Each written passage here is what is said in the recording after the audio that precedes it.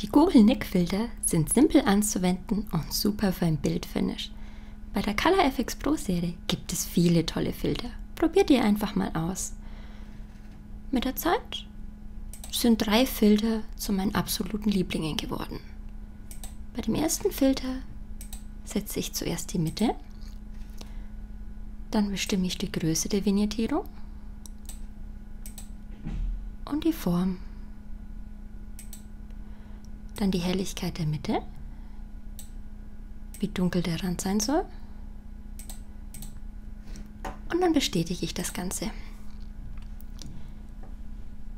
Je nach Leistung eures Rechners oder eures Laptops kann das ein paar Sekunden dauern.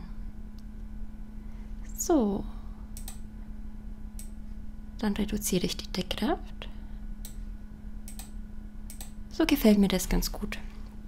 Ganz wichtig ist bei den Google Nick Filtern, ihr müsst die Ebenen immer auf eine reduzieren. Das geht mit STRG und E. Dann gehen wir wieder bei den Nick Filtern rein. Mein nächster Lieblingsfilter ist die Polarisation. Bei dem Filter bestimme ich eigentlich nur die Stärke. Achtet mal auf die Augen. Toll, oder? Bestätigen. So, dann dauert es wieder einen Moment.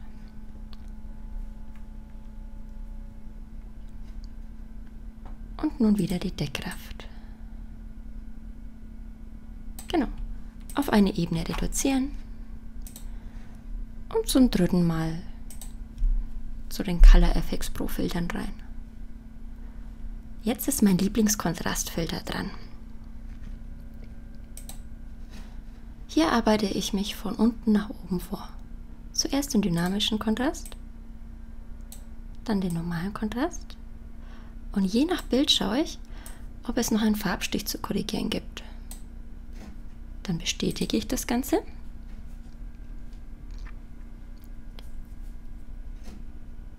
Und auch hier regle ich dann gleich die Deckkraft. So, das war's. Das war mein Bildfinish mit den Nick-Filtern. Ich hoffe, es hat euch gefallen. Bis zum nächsten Video.